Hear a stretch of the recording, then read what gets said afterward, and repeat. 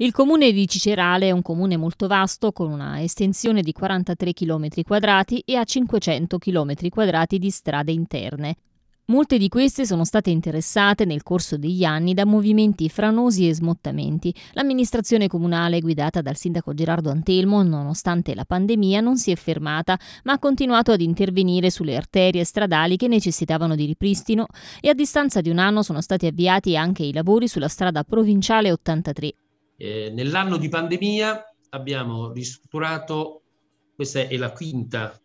ristrutturazione eh, della viabilità, messa in sicurezza della viabilità. Abbiamo sistemato eh, una frana che eh, era caduta circa più di dieci anni fa eh, nella, nell'altezza di Casa Converti, l'abbiamo sistemata. Il presidente della provincia mi dice è diventato quasi un'autostrada.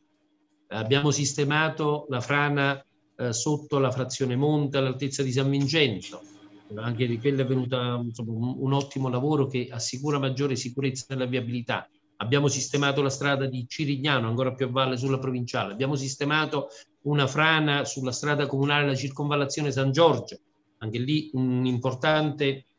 intervento di messa in sicurezza. Adesso eh, il comune sta assistendo alla sistemazione eh, di eh, questa parte importantissima su via Trentinara, eh, che è sempre la provincia dell'83, ma è la nostra via Trentinara, che è quasi adiacente alla piazza, una frana molto importante che impediva ad esempio ai proprietari a valle di poter coltivare i terreni e di poterli, perché appunto era davvero un pericolo. In questi giorni si sta realizzando questo intervento, probabilmente entro il 24-25 di marzo saranno completati i lavori. Poi passeremo con un investimento di 410 mila euro su via Carbonaio, che è un'importantissima arteria che collega il paese con la zona industriale, con l'area industriale, quindi con Agropoli, Pestum, eh, Giungano, ma soprattutto l'area industriale, quindi un collegamento veloce, il più veloce, ma che lo metteremo ulteriormente in sicurezza perché investiremo circa 400 mila euro su quell'area. Una speranza, forse vicina, per vedere riqualificata anche la strada che porta a Corbella, una strada di 5 km che versa in condizioni disastrose per chi ogni giorno la percorre, lavori che però restituirebbero il giusto valore ad un luogo immerso nella fiera e selvaggia macchia mediterranea dove scorre anche il fiume Alento. Eh, la Protezione Civile Nazionale, il governo Conte, nell'ultimo atto che ha firmato, firmò, eh, ha firmato eh, la dichiarazione dello stato di emergenza per gli eventi del 30 novembre e del 1 dicembre, gli eventi di calamità atmosferica del 30 novembre e del 1 dicembre e Cicerale risulta tra i comuni finanziati eh, tra nove del Cilento, insieme con Santa Marina e altri sette comuni. E quindi anche in quel caso, in quel caso interverremo perché i danni in quell'occasione furono eh, furono ehm, eh, insomma molto molto importanti soprattutto sulla strada via Guarane che poi è la strada che, di collegamento per il Parco Nazionale del Cilento la famosa strada eh, che poi porta che conduce a, a Corbella. A Corbella la famosa strada che conduce a Corbella e quindi dato che in quell'occasione c'è stato un forte aggravamento delle condizioni di messa della, di sicurezza di quella strada eh, interverremo con il progetto con la protezione civile nazionale e con il governo, insomma già abbiamo preso i contatti giusti nelle sedi opportune per poter realizzare quelle infrastrutture e sistemare finalmente dopo 20 anni probabilmente quella infrastruttura. Quindi insomma stiamo lavorando, quest'anno non lo stiamo trascorrendo in vano. Che tempi, Sindaco, per la strada di Corbella? Credo che anche diversi cittadini siano interessati magari a, a capire, insomma a febbraio, a febbraio, il 9 febbraio, lo Stato, il governo ha dichiarato lo stato di calamità naturale per il nostro territorio. Adesso dobbiamo realizzare tutta la fase di progettazione per gli interventi e poi, insomma, essendo poi fondi di, quasi di somma urgenza, io credo che non dovrebbe andare molto per le lunghe, però teniamo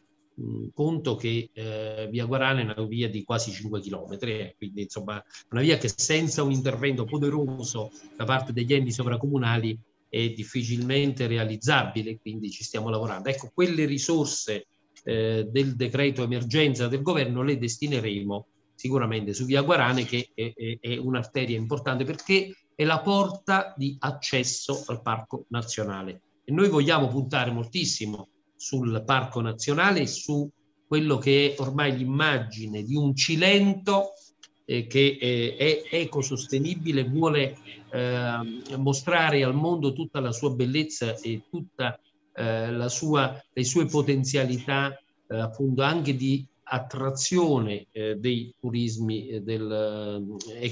de, dell'ecosostenibilità e quindi quella è una, è, una valle, è una valle paradisiaca che fa gola a tanti escursionisti però insomma bisognerebbe effettivamente, come diceva lei, eh, metterla in sicurezza. E Assolutamente, la, la, inseriremo in questo progetto, la inseriremo in questo progetto che inoltreremo a breve e quindi insomma abbiamo già preso i contatti giusti. Eh, speriamo di fare prima possibile insomma nelle, nelle cose io sono arrivato soltanto un anno e mezzo fa e un anno di pandemia, quindi, però quest'anno di pandemia sicuramente non lo sprecheremo, tanto è vero che lo abbiamo utilizzato per realizzare eh, tutte, tutti i preliminari per l'apertura del museo Degas, eh, del museo che insomma eh, parte dal, da questo grande pittore impressionista eh, che ci ha onorati della presenza più di cento anni fa eh, e quindi appunto in paese, quindi eh, voglio dire, stiamo lavorando alacremente a questo progetto e che contiamo di inaugurare prima dell'estate. Sicuramente l'arte e la cultura insomma, sono importanti e fondamentali per un territorio, accompagnati anche dalla uh, riqualificazione in sé insomma, del, del, territorio stesso, quindi delle strade, per l'accesso anche ad altri uh, luoghi che sono uh, di